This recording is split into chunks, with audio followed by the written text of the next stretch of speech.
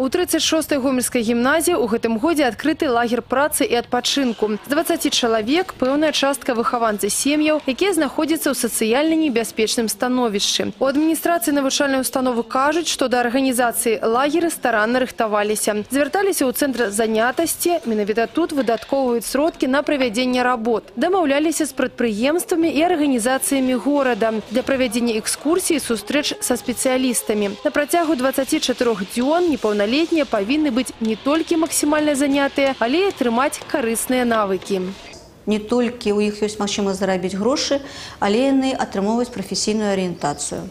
Яны бываюць на экскурсіях, на прадпрыемствах, яны э, павышаюць свае веды ў плане і правіл бяспекі руху, і плаві- правіл бяспекі жыцця.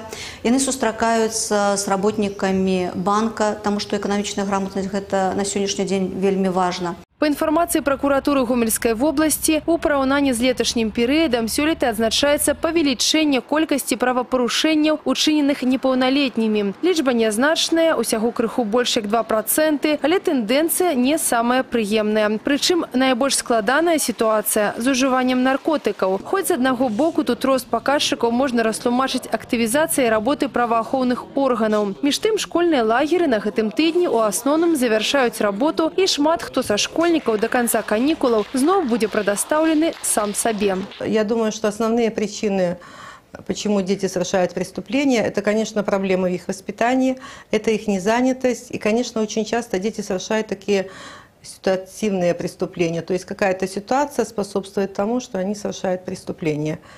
Э, Больше внимания уделять их занятости. Олег Сенцюров, Марина Северьянова, Яўген Макеенко, Телерадиокомпания «Гомель».